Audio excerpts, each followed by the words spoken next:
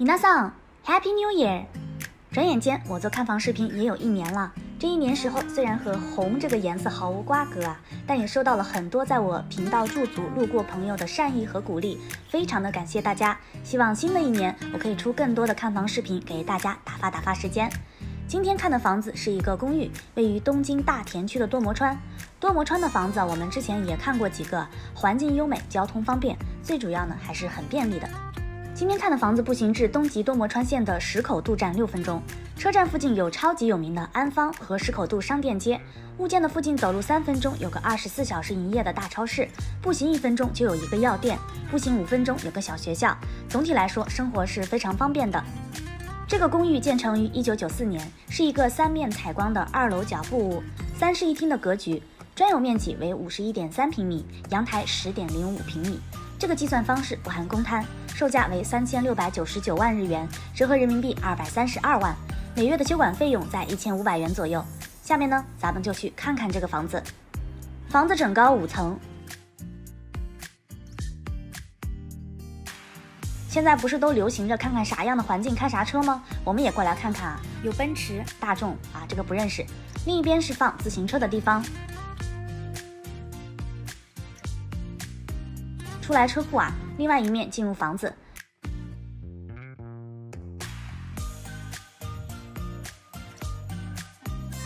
进二道门是感应钥匙，门口的蝴蝶兰放的挺有意境。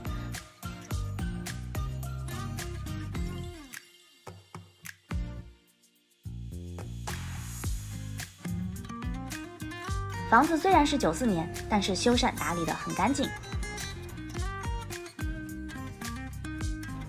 一进门的右手边是个镜子，我们的小哥入画了，请大家对他留言下手轻一点。镜子后面是可以放鞋子的，而且鞋子是被隐藏的。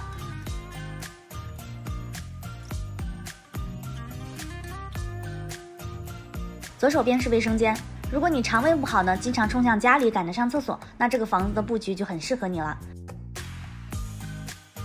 马桶顶部有换气设备，不用担心散味的问题。看完卫生间，再往里走。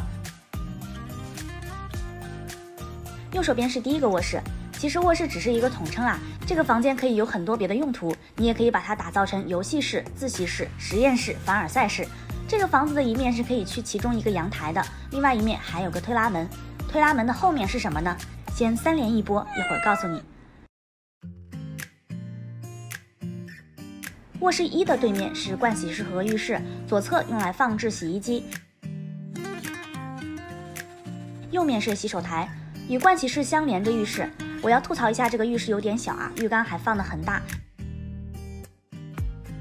实际给淋浴的空间就很有限了。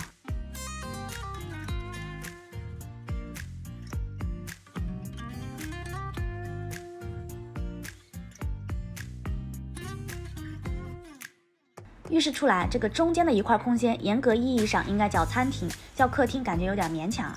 一面是一个开放式的厨房，可以做饭，其他的空间放个餐桌可能就没什么了。右侧就是刚才的卧室推拉门了。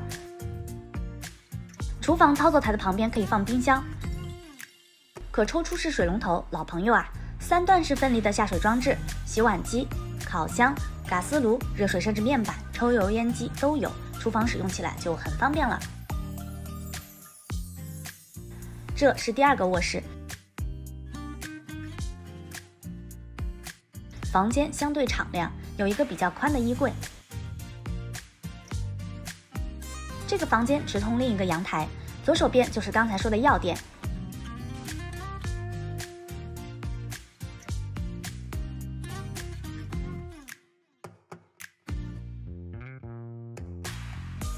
阳台又长又大，可以满足多种使用需求。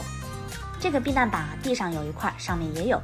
遇到火灾、地震险情等等，就可以直接通过打开避难板变成梯子，移动到安全的地方。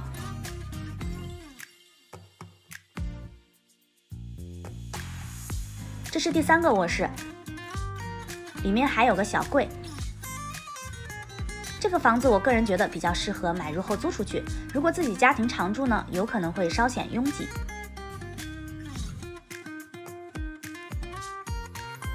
这个卧室出去是另外一个阳台，可以看到一些隔壁邻居的建造房屋风格。好，那今天的多摩川小三室就看完了。优点是二百七十度角屋，生活设施齐全，价格便宜。缺点是楼层不太高，客厅和厨房比较小，不太适合喜欢做饭或者经常使用公共空间的人。最后，这个视频可能是二零二零年我的最后一根了，提前祝大家元旦快乐哦！明年见。